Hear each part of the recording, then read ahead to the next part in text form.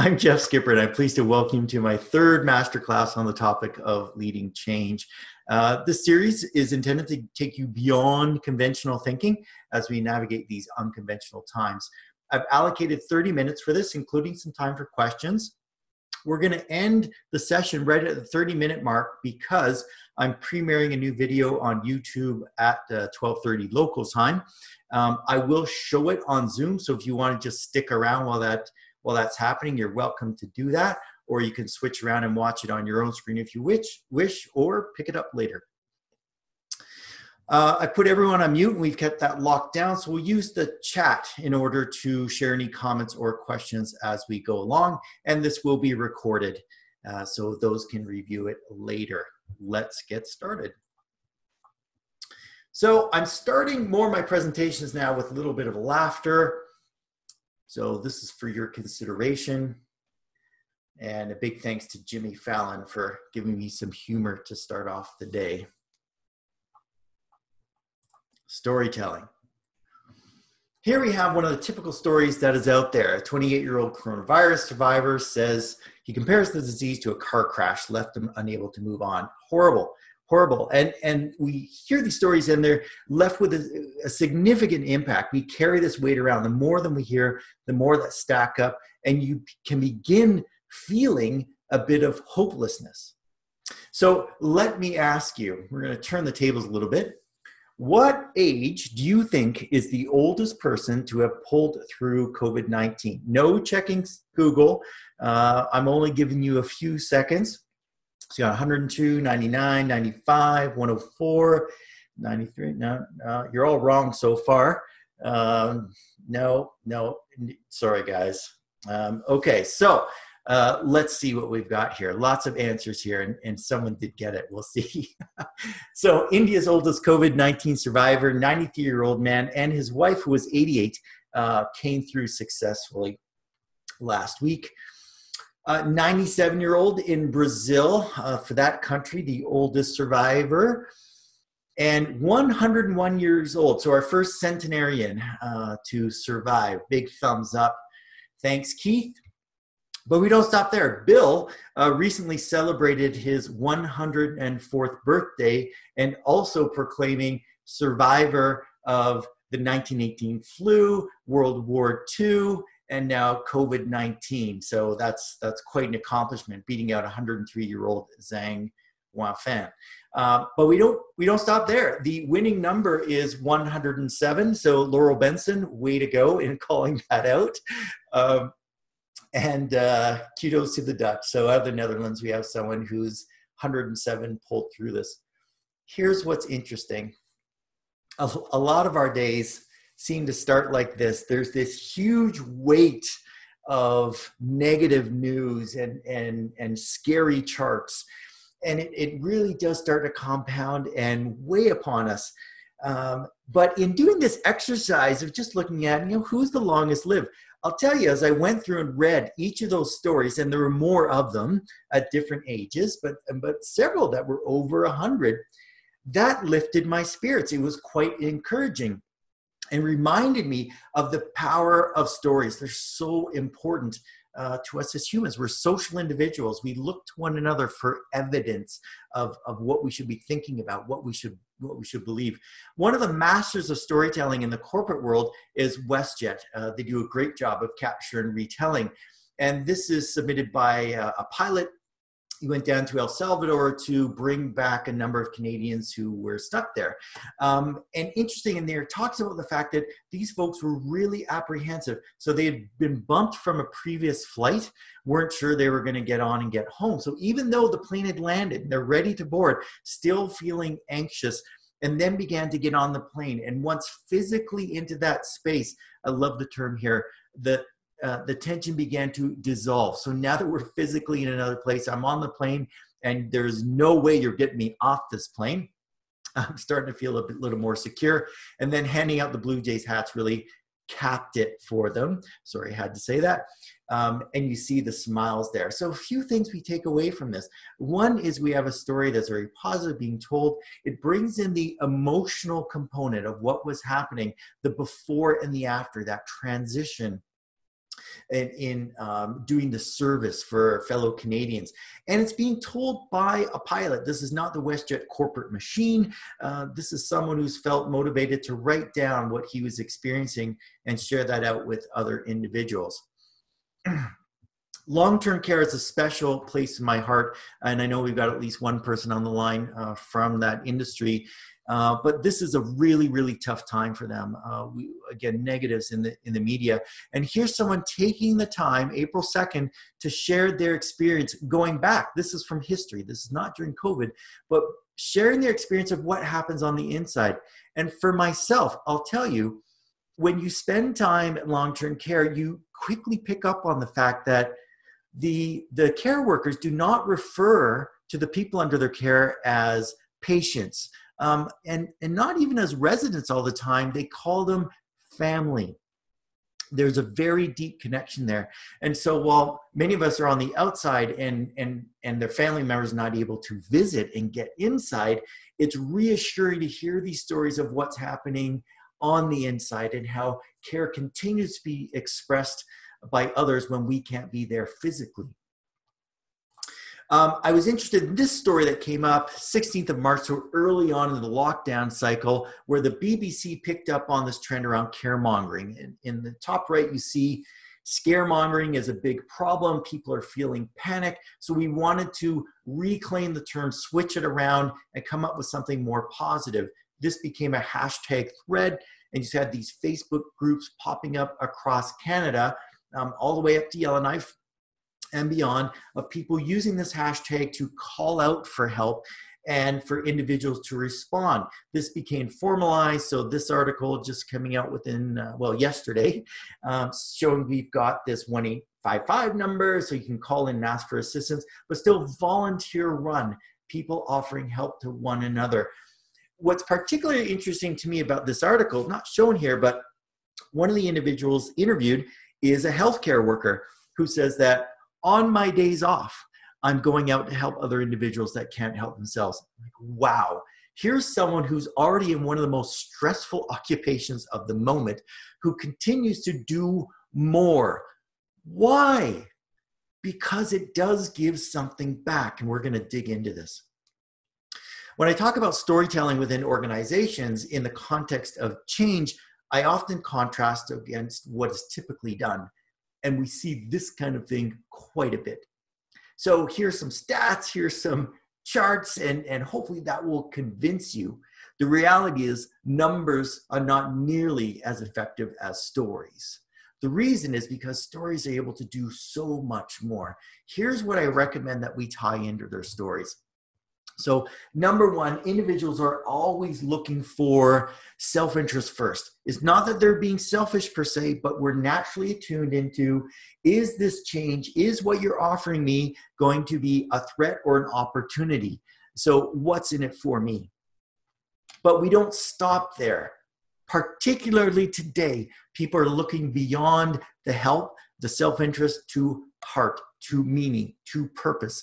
It's what drives individuals to sacrifice their time, their money to do something that's more helpful to others.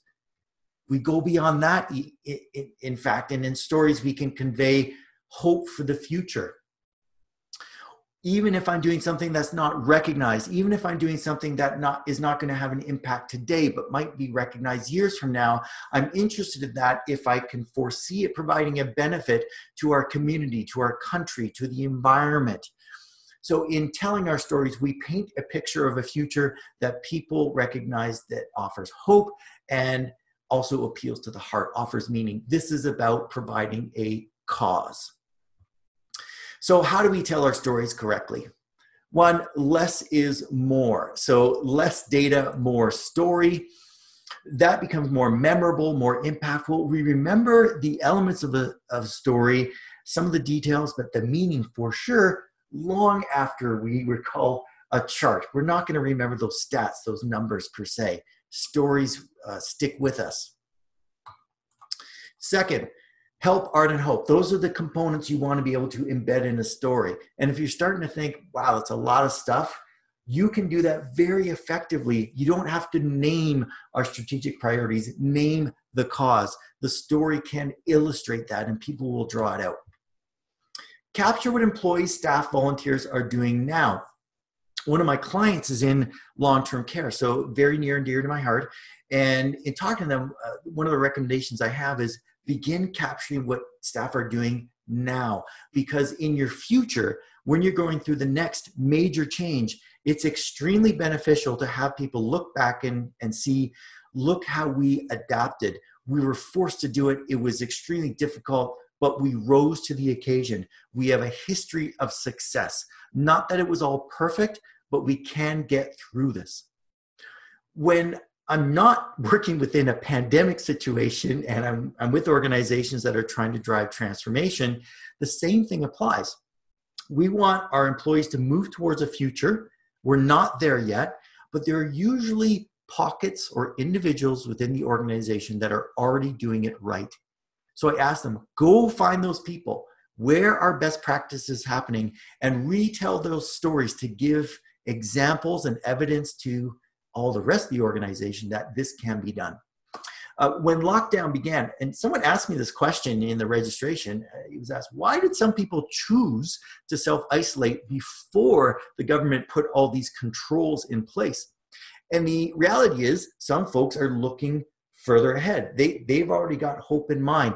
They're recognizing that there's a reason why we might want to take action now, even if we're not being asked or ordered to do it. So, uh, by capturing those stories and sharing them, we can inspire others to commit more than just comply. Credibility wise, having those individuals tell their own stories of success has a much greater impact. Four, relatability. So, this message, we're all in this together. Well, we can only get that point across by demonstrating how we're all in this together we pick people that are representative of the population. We pick contexts or situations that people can connect with. And finally, you want to conclude a story with some kind of call to action. While many people will get it, it'll be obvious out of you know what's being implied by story. Not everyone gets there. So a simple call to action demonstrating how people can participate or what they might choose to do as a result is beneficial when you're wrapping a story. Don't overdo it or you start taking away from the power of the story of itself, but something in conclusion that directs their attention specifically to an action is helpful. As a bonus item, not really a step, but consider the fact that telling negative stories can also have a benefit. We realize that when we only focus on the positive, uh, when we uh, shame and figure point around failures, people stop telling what they got wrong, and that can make it worse. It can exacerbate a problem, uh, making it more difficult to fix. But when we share mistakes that have been made, how we made some errors in judgment, that signals to others, okay, I'm fallible, you're fallible, mistakes can occur, and now I feel open about sharing. And that has another big impact. Now we can learn from those failures uh, together. So, so storytelling doesn't have to be all positive. Consider, uh, you might have seen the video put out by Peloton uh, in December, just in time for Christmas. Uh, it depicts a husband gifting a Peloton exercise bike to his wife or significant other, who then goes through a year long process where she ends up saying, You know, my life is so changed, I've been transformed. But it communicated to most people that here is a sexist opinion of how relationships work that a husband would say you need this exercise bike to a person who is actually already quite thin. Wrong message. So we have to be careful. Test it out. Ensure the details don't cloud or conflict with the message you're trying to deliver and address any discrepancies so if the story is told in different ways or people are uh, in conflict around the details that may need to be ironed out so it doesn't draw away from your message. Consider the volume of contrary stories. If your organization has a long history of doing it wrong or mistakes or bad leadership, you're going to need uh, some pretty hefty, weighty, and a series of stories that say the opposite. And repetition will be required. But consider story burnout is real uh, over time stories lose their impact folks begin to say yada yada yada i've heard this before and just doesn't move people like it used to so stories need to be refreshed uh, either by replacing them with new ones or finding a different angle. Here's something that you might not have considered. It grabbed my attention. Jonathan Haidt is an American psychologist, specializes in moral psychology, and points out in this physical copy of New York Times, we have this wonderful article about a landlord waiving rent for hundreds, doing this uh, uh, really altruistic um, uh, offering to those major benefit. What is difficult to make out is in the bottom right is another article that says seized medical supplies to be given to hospitals. I looked up the article. Here's the detail. This person has this huge, hundreds of thousands of pieces of medical equipment being hoarded, probably going to be sold for profit. And when the authorities heard about it, now confiscate it, making sure it gets to the right place.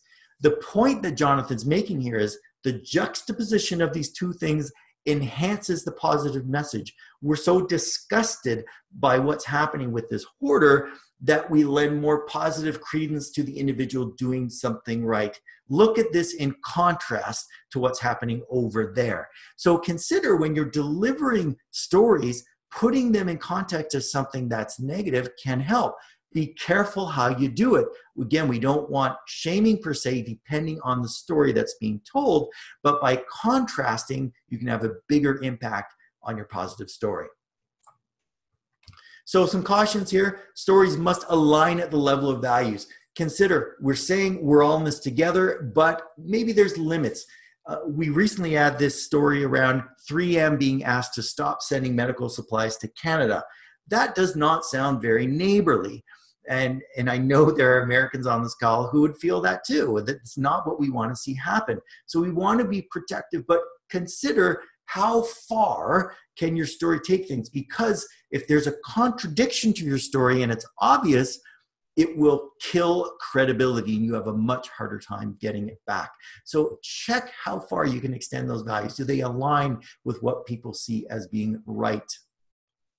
Uh, as I mentioned, addressing these discrepancies, do your fact checking, and avoid a message of control. I've spoken before about the fact that when we're asking people to do change, it can be difficult because folks see that as you're imposing on my own power, my ability to make decisions. Here's an example. It's a tough one, but it's recent. Uh, so Trump claiming I'm the final authority what's interesting about this article is the US governance were, governors were already moving in a direction in alignment with where Trump is going. We want to ease up, get the economy back going, uh, put people back to work. But the expression that I will make that decision, uh, it rests with me, immediately causes people to bristle. We don't want that kind of power being taken away from us. So, good stories put control in the listener's hands. Uh, they they finalize with action that you can take. Uh, offer the choice for you to support it, even if you're not directly involved, or finding a way to contribute, even if you're not on the front lines. So here we have this individual who has repurposed his pizza oven to toss masks. He's actually making masks and finding that in the oven at a certain temperature, uh, the material he's using uh, is malleable and and uh, creates this curve that's beneficial to the mass, which he can then send to the front line for healthcare workers. Now, I have to say, uh, unintended consequences. I would not one of these ma- want one of these masks and then be walking around all day smelling pepperoni pizza and salivating in the thing. But I love the spirit of what he's doing here. So offering a way for people to participate even if they're not directly involved. That makes your story powerful. This memo came out late last week, and it's a different example of how to do storytelling. Check this out. This long weekend, many Albertans will reflect on the power of sacrifice for the greater good. Sentence number one grabs you. Barren public spaces remind us of what we're all giving up to keep each other safe.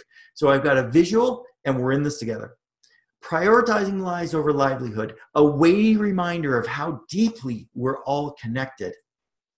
Our members are looking for the good and embracing the simpler things in life. Now, check this out homemade baking being left on friends' doorsteps. Children are discovering the joys of pen pals. Extended families are sharing meals over video conference. You can visualize each one of these things.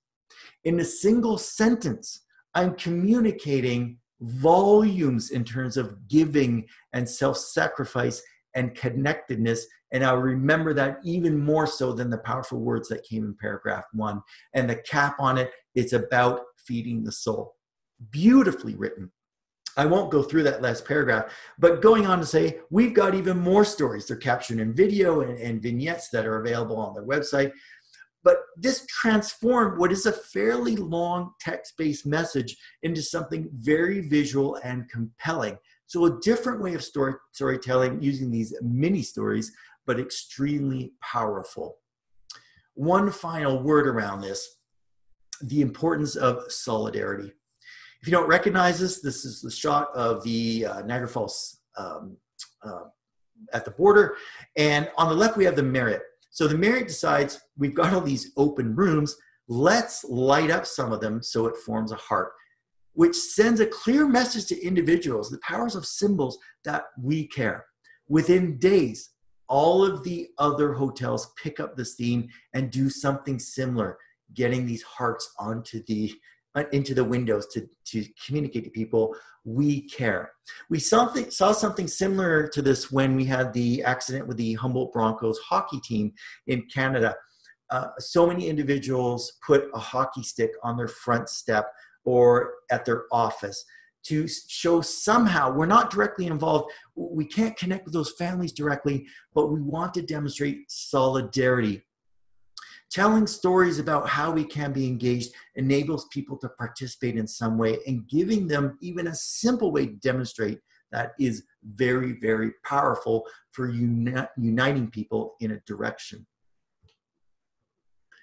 Concluding thoughts. Collect stories. Start now and share stories that uphold and uplift values and finally use them to direct action while enabling choice um, I'm going to take your questions in a moment. I want to finish with a quote again from Jonathan Haidt, the American psychologist, who I thought said something just brilliant. This is a time for us to reflect and choose a better story. Right now, stories are being rewritten all around us, nationally, individually, and we all get a chance to do some of the rewriting. What is the story you will tell? Questions? while you're thinking about it, um, I posted it a couple times. Uh, let's see if I can paste it again here. But a couple free resources that recently came out. Um, again, I'll be doing this premiere in a moment on YouTube. This video, just three minutes long, gets at these aspects of help, heart, and hope.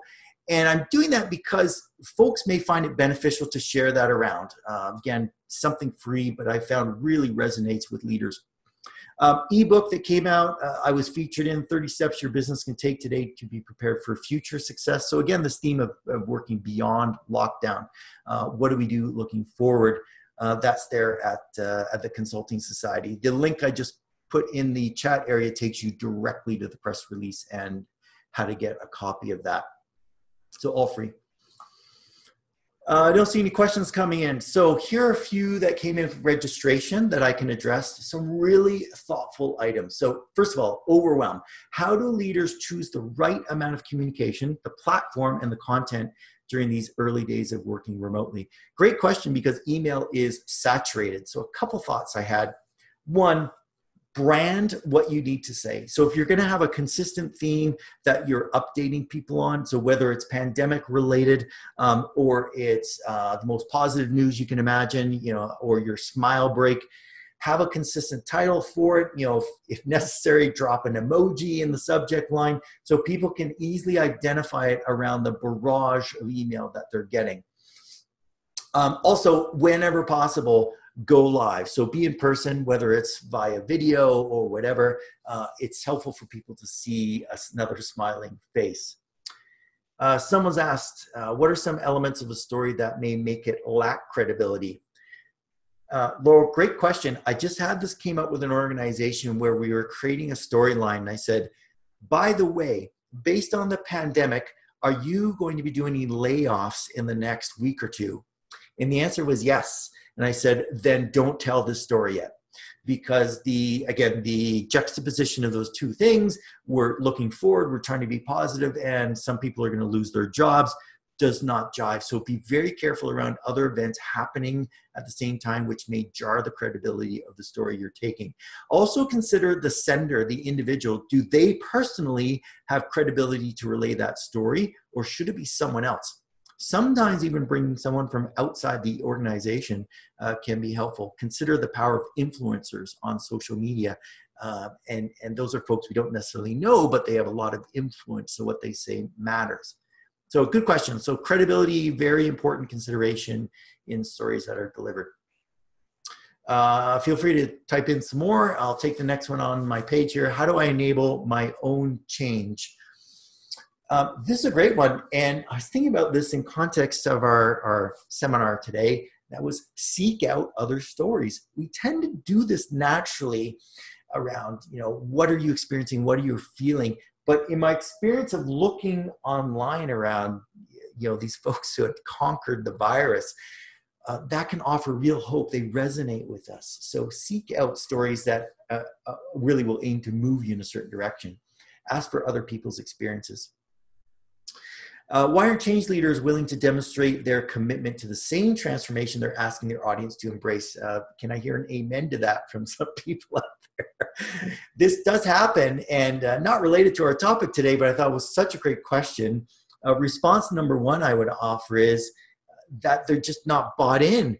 Uh, so uh, someone said, the reason why we do things is because we are either moving away from pain or towards towards something with pleasure. It's the idea of the self-interest what's in it for me.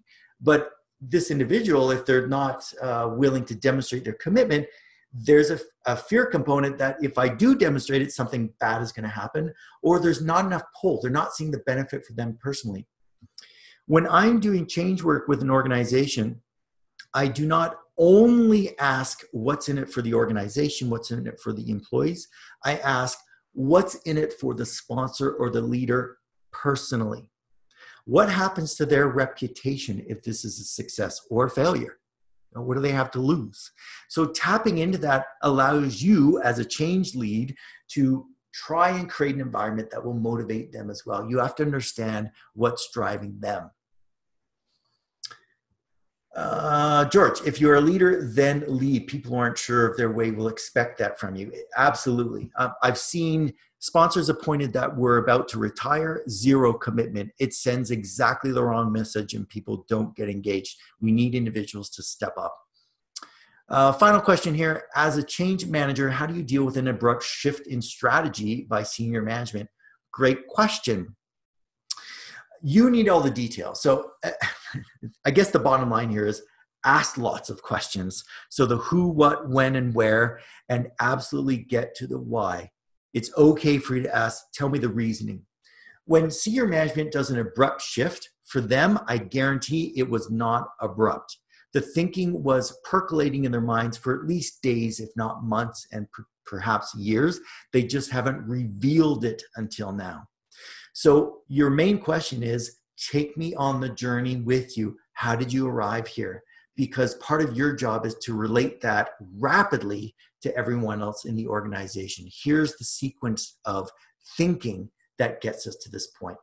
Great questions, folks, and keep them coming in.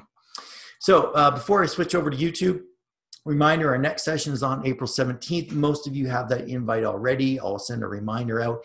But this one is shaping up really nicely. I have to admit, I'm pulling in resources from a number of places because there's some great stuff out there. But focusing on our mental health is extremely practical these days. Uh, so we'll look at how you can do that to rebuild capacity. And I hope you will join me.